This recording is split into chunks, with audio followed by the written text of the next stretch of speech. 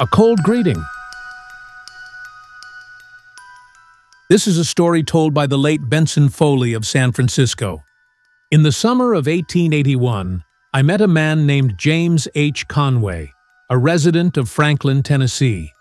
He was visiting San Francisco for his health, a rather misguided endeavor in my opinion, and brought with him a letter of introduction from Mr. Lawrence Barting.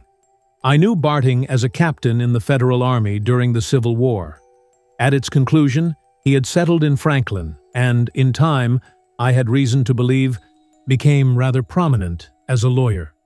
Barting had always struck me as an honorable and truthful man, and the warmth of his friendship for Mr. Conway, as expressed in his letter, was for me sufficient evidence that Conway was someone I could trust and respect.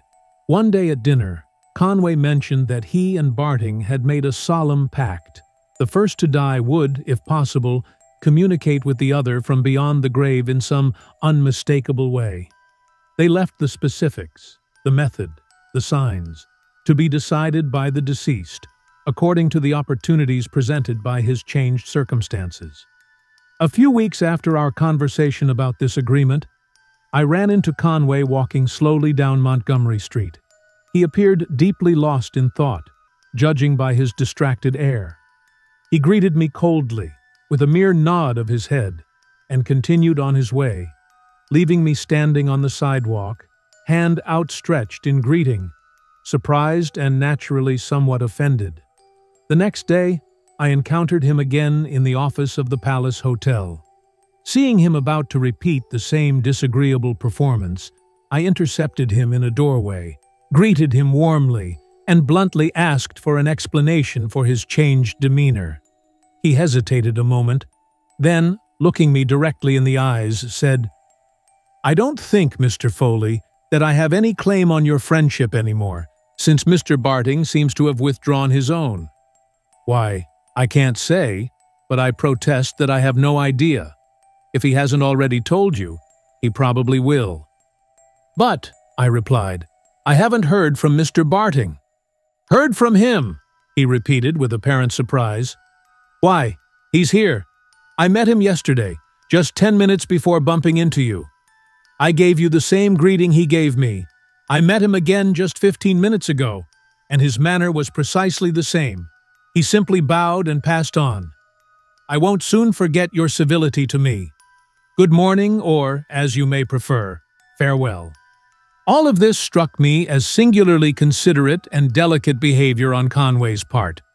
Now, since dramatic situations and literary embellishments are not my goal, I will explain at once that Mr. Barting was dead. He had died in Nashville four days before this conversation. I called on Conway and informed him of our friend's death, showing him the letters confirming it. He was visibly affected in a way that left me with no doubt about his sincerity. It seems incredible, he said after a moment of reflection. I suppose I must have mistaken another man for Barting, and that man's cold greeting was simply a stranger's polite acknowledgement of my own. I remember, in fact, that he lacked Barting's mustache.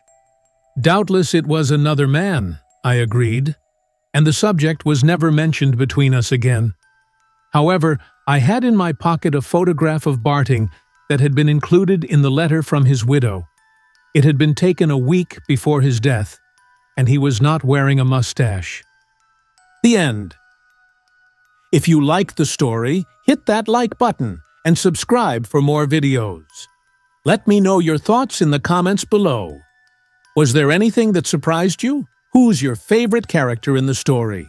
I can't wait to hear your thoughts.